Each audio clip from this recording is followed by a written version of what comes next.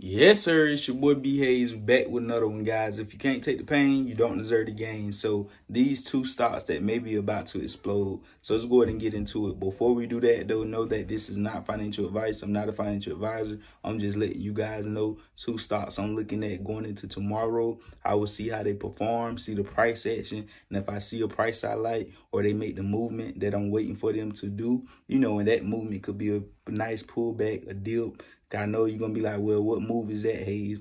You already know the moves we've always been talking about on the channel. The you know signals we look for and we get before entering into a trade or into a, you know a swing trade, day trade, swing trade, however the case may be. So let's go ahead and get into them, guys. Know always be smart and meticulous with your investments. Don't throw in no money that you ain't willing to lose. So the first bang on the list we got is ticker symbol CEI. It's a penny stock, guys. It ended Friday at around 71 cents be very careful if you want to get involved with that stock guys because it is a penny stock. Penny stocks are known to be trash companies and you know they're nothing to put in and be you know holding on to forever. You want to get in and get out.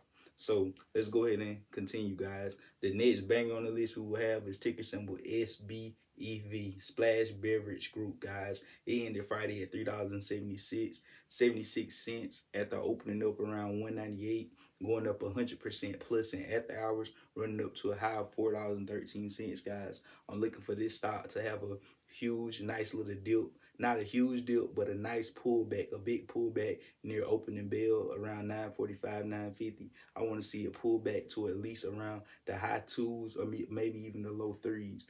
That would be a nice spot to start nibbling in and adding your way into that position for it to run up, run past that, that high hitting all time I mean, after hours, and once it get above five dollars, that's when the big boys are really get in, and it could easily go to ten if we surpass five guys. So you most definitely want to have that on your watch list. Also, we had news come out that Splash Bever Splash Beverage Group receives authorization for TapouT in Walmart stores across Florida areas. So we know they got authorization across a lot of Walmarts. So what that should do is help boost their revenue and what that's going to do is help boost their profit margin. So they'll be making more money within the company, which could also help boost the stock price fundamentally.